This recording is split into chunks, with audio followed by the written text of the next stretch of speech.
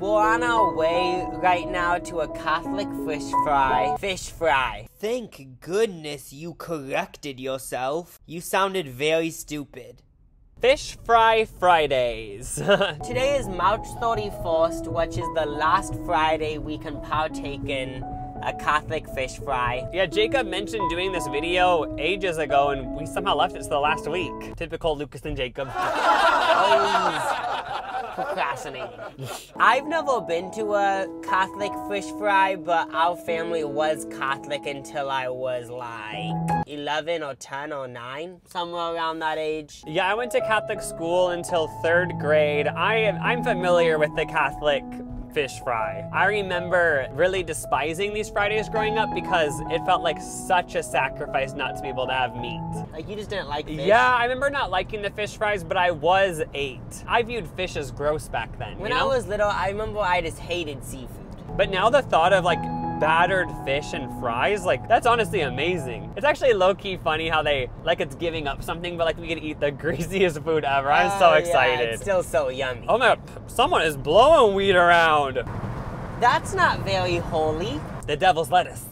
Yeah. Basically, we're gonna see if the Catholics where we are know how to cook up. I know. we're gonna judge their fish fry. We're actually going to two giant churches to pit them against each other. See who see who does the cookout better. Just a little history lesson for those not aware. During Lent, Catholics can't eat meat on Friday. Maybe other um, religions do that, but um, I just know Catholics do that. So that's why they have fish fries. So then they can still munch on food that doesn't have meat. By the way, fish is not meat, it's seafood, which is not meat.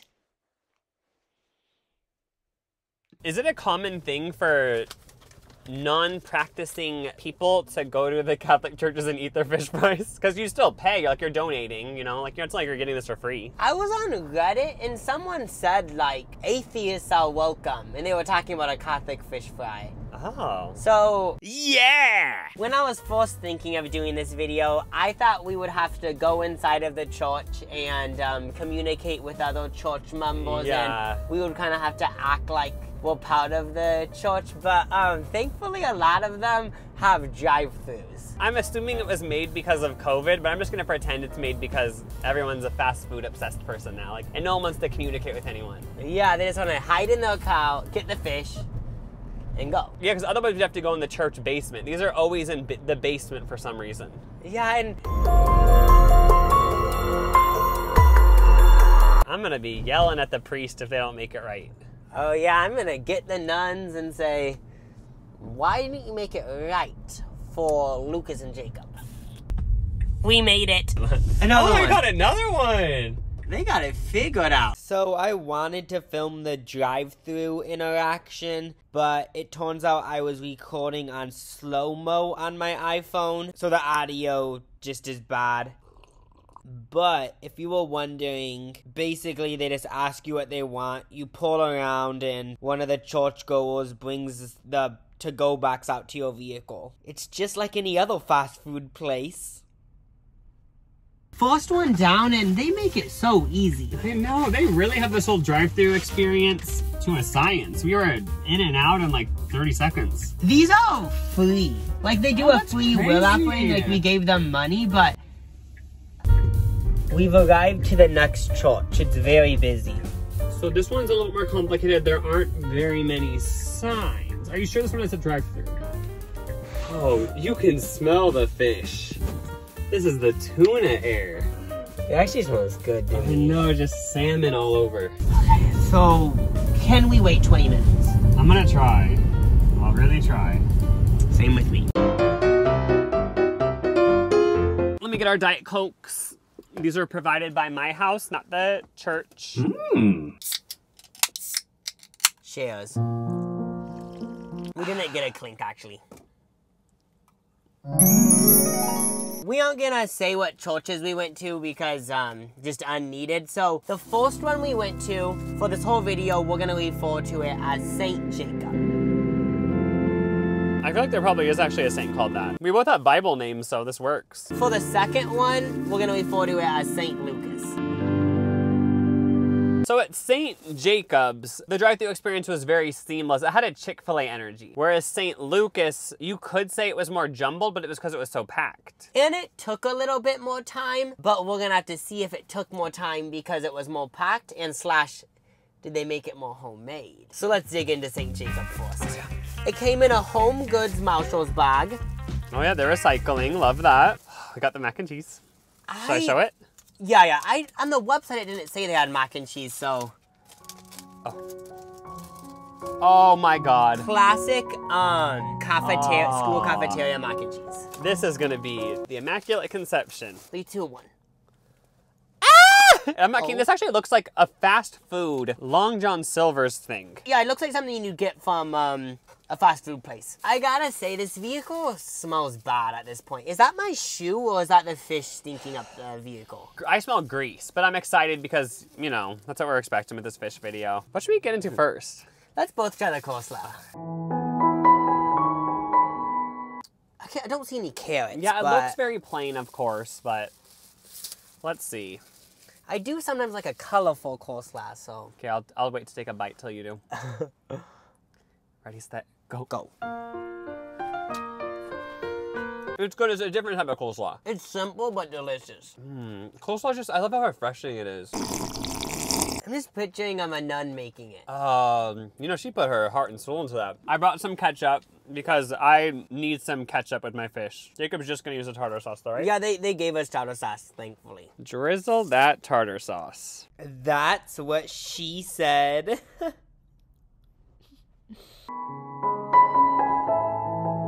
this looks like a classic um frozen fish. Mm-hmm. But maybe they made it homemade. We don't know. Yeah, we yeah, we don't know is the thing. Cheers. That's what I was expecting. It's so good. I wonder if I'm just making up, making it up, but it's delicious. This is when I can see myself going back next year. I'm loving this. Isn't there a story in the Bible about somebody getting stuck in a fish? In a Um, whale. So then what happens? I think they just die. It's- I think. Some. I know this isn't very church-like, but I might have to unbutton this. Oh, is it restricting you? Yeah, I feel like I can't fully live my fantasy. These French fries, they could have very much gotten them from Raising Cane's. Oh, this whole thing is giving Raising Cane's energy because the coleslaw, the be- the box that's in. I don't know if I can trust my opinion right now because I've been looking forward to this moment for literally eight months. They are soggy because they've been sitting like the condensation in the box has been building up for a while. But I love a soggy fry. Same with me. These are soggy and cold, but um, I'm Mick loving it. There's something about crinkle cut fries that bring it to the next level for me. Originally, I didn't like crinkle cut fries. But something happened over the past few years where I decided they actually are good. Why was I hating? I don't know. Maybe I'm just speaking for myself, but no one asked. Can we continue with the mukbang? I spit because I'm so angry at Jacob. I can't believe earlier I said when I was a kid I I thought these places were gross. So just fries and fried fish. Like what? this kind of seems like a kid's meal, like a kid's favorite meal. The guy that handed us, do you think he would have ever thought the number one food reviewer and his brother would be eat, reviewing it professionally on camera? That's true. I'm almost glad they didn't know because like then the nuns would have felt so much pressure. And the priest would have been like, oh my gosh, we need to prepare for a whole week for this. Mm, it would have added a lot of unnecessary stress. So I'm glad they didn't know. I might sip the juice. Do it. Mmm. Recommend. I'm not even the one saying mmm. Lucas is the one saying mmm. Lucas is truly an empath because he could expand he could put himself in my shoes in that situation. The most important thing is next. Oh my god, I thought we were done. Same with me. I did too. I thought we were done with St. Jacob. When I was opening this, I was actually picturing there to be a crust on top, but um, maybe I was expecting too much from them, you know? Yeah. Cheers. That's good. It reminds me so much of cafeteria though. Yeah, it's cafeteria mac and cheese. Like maybe this church that we went to had a school connected, so they had leftover mac and cheese from the lunch. It is good though. I mean, it's not bad. Definitely not bad. I think like macaroni is one of those things where there's not any bad ones. I would actually agree. Like even the most runny, tasteless macaroni is good. As long as it tastes a little bit like salt, it's winning. Mm-hmm. They're just super basic. You know, they couldn't really try anything too crazy. It does feel holy. Mm. It Um, does have this one taste, though. Soap. Know. There's just one taste that certain macaronis have that isn't good, but I'll still eat the entire thing. I know exactly what taste you're talking about, but I don't know how to describe it. Yeah, I don't think there's any English words that.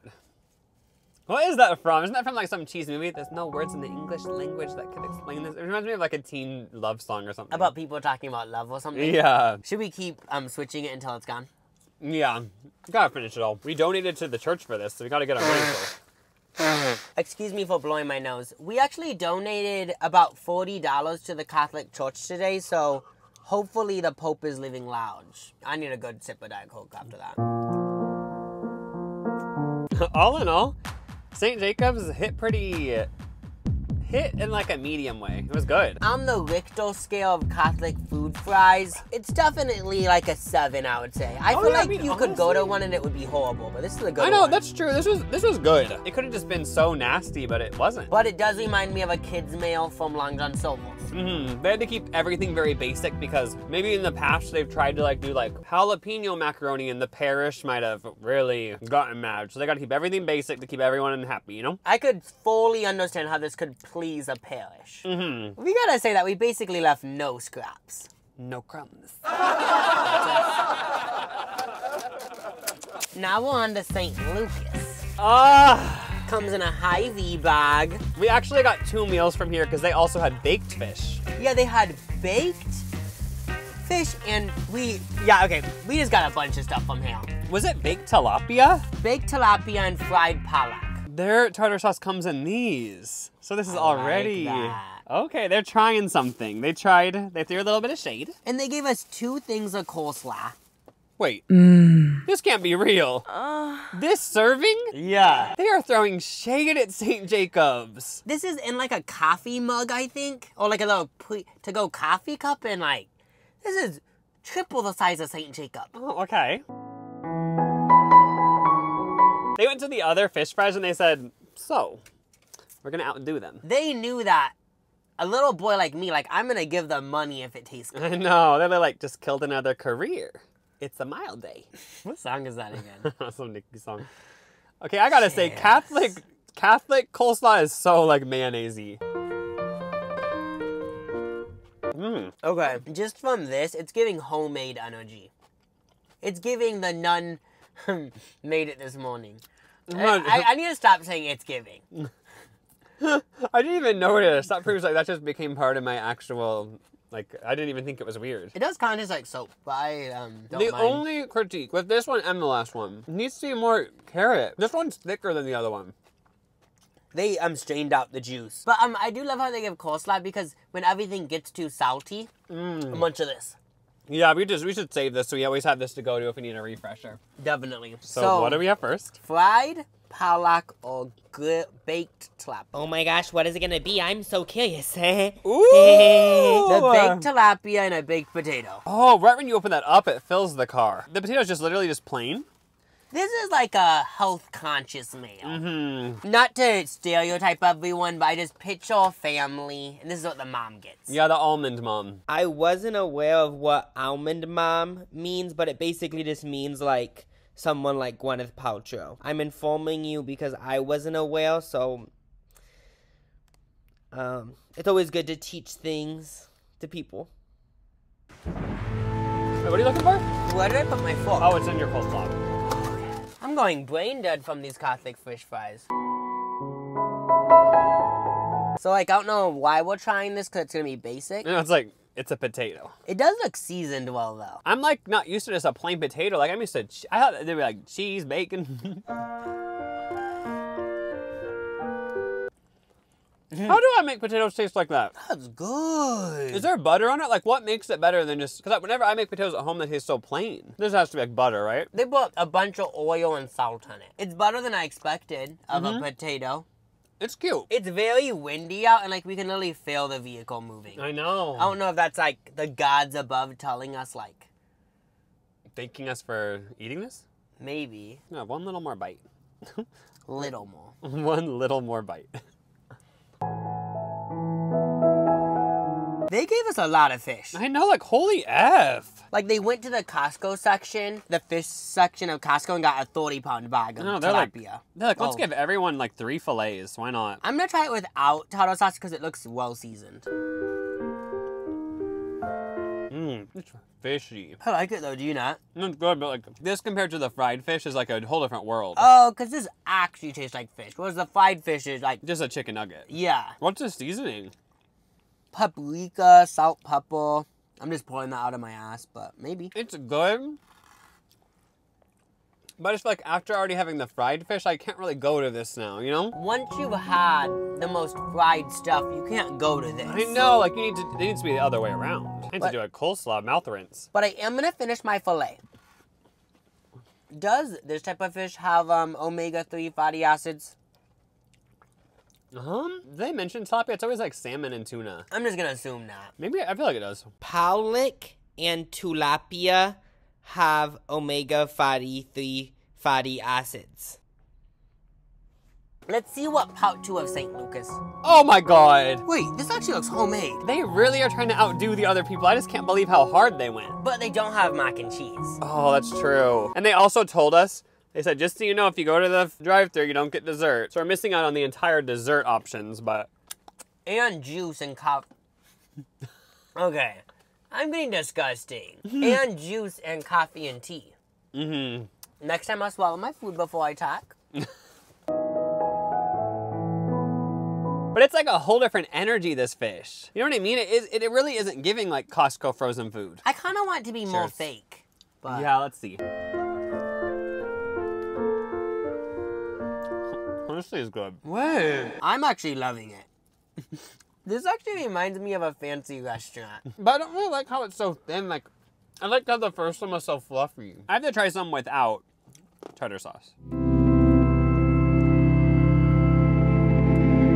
Mm. Yeah, they, just, they just tried an entire different thing, you know? Do you think it's homemade?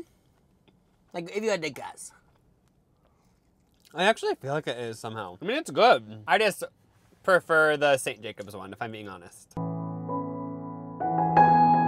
So how does every Catholic church know to do crinkle cut fries? Is that uh, like an unknown rule? You have to do crinkle cut fries at the fish fry. Probably because of the rise of Raising Cane's. That's my guess. But did I just make that up? I feel like that kind of makes sense. Let's see. Yeah, they're literally identical to the other ones, right? Cold and soggy. I feel like I might need to dip the fish in ketchup to get my full opinion. Do what you have to do. Don't let anyone hold you back. Thanks for the reminder. Okay, let's try the fish with the ketchup. Mmm, that brings out the goodness. I'm not much of a fish ketchup person, but I am gonna try it. Mmm. This is the funniest thing. Before, with the previous church, I was saying they really made everything so basic. And I was kind of like making fun of it. But now that these people tried something a little bit off the beaten path, St. Luke, Luke, St. Lucas. I'm starting to not like it. Wow, that says a lot about society. I'm aware that this fish is probably more real than St. Jacob. But I do have to say, I don't know if this has happened to you, and let me know if it has, but does it taste a little bit fishy to you? Like, um, and I know we're eating fish, but it tastes a little bit, um, like gross fishy to me. hmm I preferred how the first box didn't taste like fish? was just so processed that it could have been a chicken nugget, you know? I gotta say, I've I've had enough of this stuff. Like I'm, I'm good. We have a whole tartar sauce from St. Lucas that we didn't even get to. Yet. Oh, hell yes. Keep that in your fridge. I'm holding St. Lucas right now. I'm holding St. Jacobs, the first one. Um, how should we do this where none of us are influenced? How about both of us go in our Should we close our eyes? Or should we both write a little paragraph in our notes about Hmm. which one we like better can- and why?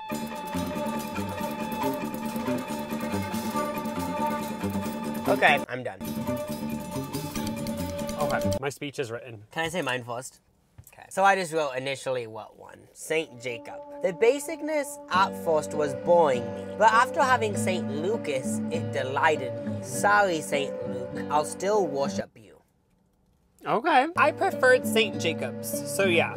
The drive through was modern and seamless, and the food was basic, which fit my basic palate. I do have to say St. Lucas had a more lively vibe in the drive-through, but the food didn't hit me hard enough. But I'm still thankful they made it.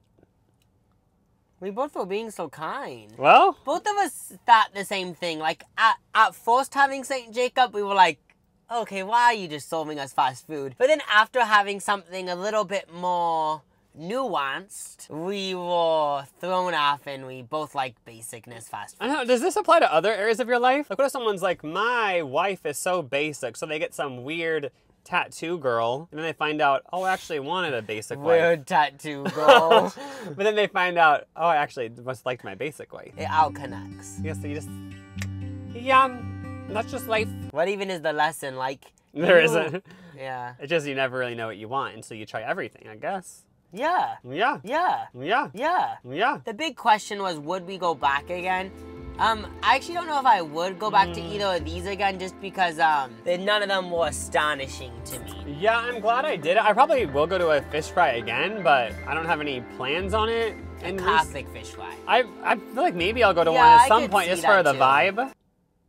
I don't know. It's hard to decide right now because I'm in the post food mode where I kind of feel gross. To be honest, I feel a little bit gross right now. Same with me. just greasified, but but then you know what I mean. You know how when you always feel gross after you eat food, but then uh, you, forget the next day and you go and eat the same thing. This video is sponsored by the Catholic Church. It is secretly, yeah. Thank you for the food, What does it go? Father, Son, Holy Holy Spirit.